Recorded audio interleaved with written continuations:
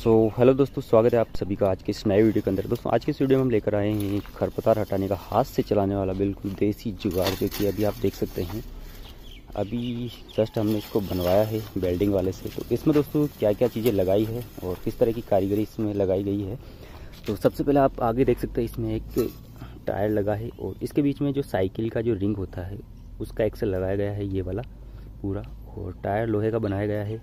फिर इसके जस्ट पीछे एक कुरपा लगा है और एक लोहे की डंडी है और इसमें दोस्तों तीन छेद भी है तो इसको ऊपर नीचे मतलब चलाने वाले की हाइट के हिसाब से थोड़ा सा ऊपर नीचे सेट किया जा सकता है और आगे वाले में भी दो नट है तो उसके, उसको भी सेट किया जा सकता है थोड़ा सा ऊपर नीचे। और और इस तरह का दोस्तों इसमें हैंडल लगाया है तो यहाँ से खड़े होकर एक आदमी इसको आराम से चला सकता है।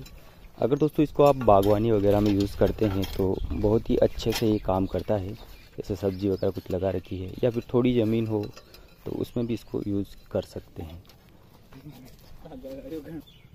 और बाकी दोस्तों, इसमें एक नीचे की साइड कुरपा लगा है, जो कि इससे बेल्ट है।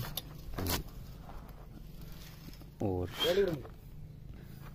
और अगर यहाँ पर हम चाहें तो इससे नट बोल्ट सिस्टम भी कर सकते हैं। तो नट बोल्ट वाला सिस्टम सही रहता है क्योंकि अगर कुरपे को वापस रिपेयर करवाना हो, पाना होना तो वो नट बोल्ट खोल के आराम से किया जा सकता है। और बाकी दोस्तों ओवरऑल इसकी कीमत की अगर हम बात करें तो लगभग पंद्रह सौ रुपये में पूरा जुगाड़ हमारा बन के ये कंप्लीट हुआ है। तो देख सकते हैं, कुछ इस तरह का जुगाड़ है। और चलाने वाले भाई साहब भी हमारी ये देख सकते हैं आप। तो अभी दोस्तों जस्ट यहीं पर बिल्डिंग वाले की दुकान है, वहाँ पर तो अभी बनवाया ही है और इस तरह से ये चलता है, देख सकते हैं आप। बिल्कुल खरपतवार पूरी तरह से हटाता है। सो आज की वीडियो में दोस्तों इतना ही। मिलते हैं ऐसे ही किसी नए वीडियो में नई जानकारी के साथ। तब तक के जय हिंद, वंदे मातरम।